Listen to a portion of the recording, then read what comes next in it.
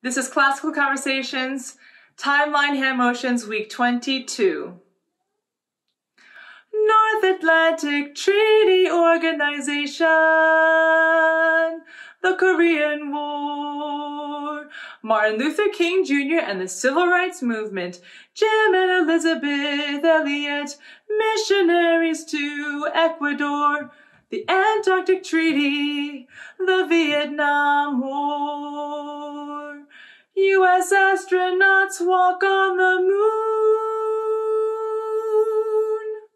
I think there's such a joy in keeping a good home, in watching your children grow up, in cooking and cleaning and supporting your husband